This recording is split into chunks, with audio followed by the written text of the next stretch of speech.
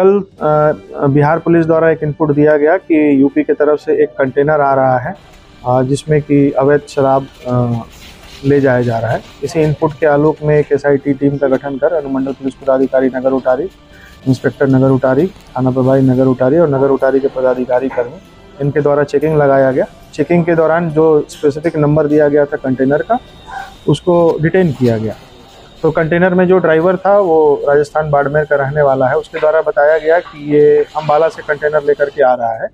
और पहले तो उसके द्वारा बताया गया कि इसमें इलेक्ट्रॉनिक गुड्स है वॉशिंग मशीन है और गीजर है। उसकी बिल्टी भी दिखाई गई जो जाँच पदाधिकारी थे।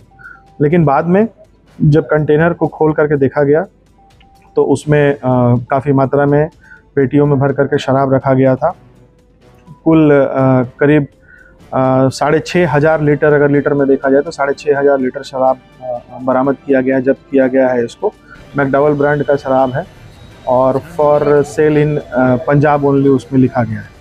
ड्राइवर को तुरंत इंटरोगेशन किया गया तो उसके द्वारा बताया गया कि इसको अम्बाला से स्पॉट करके एक कार लेकर के आ रही थी। कार में भी दो लड़के और थे।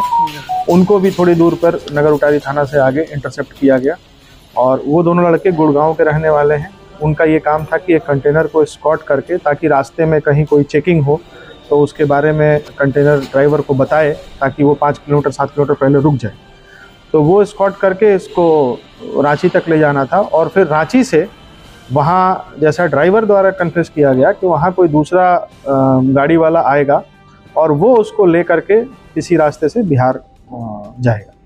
तो यही उसका डिटेल था। इसमें जितना इसमें जि, जितने भी लोग शामिल थे, उनका हम लोगों को ब्यौरा मिल गया है। अनुसंधान कर रहे हैं। दारू सही है, गलत है, इसके बारे में एक्साइज डिपार्टमेंट से हम लोगों ने कम्युनिकेशन किया है, बनाया है, वो जाँच करके बताएँगे हम लोगों को। और लगातार इस रूट पे, जैसा कि आप इलेक्शन के समय में भी देख रहे थे, इस रूट पे लगातार चेकिंग हम लोगों की लगाई जाती है। चेकिंग के दौरान ये कार्रवाई की जा रही है। सर, इसकी लागत कितनी ये कुल दारू की लागत ऐसे जो हम लोगों का सरकारी रेट है उसके हिसाब से करीब चौवालीस लाख। तो ड्राइवर द्वारा बताया गया कि ये बिहार ले जा रहा था।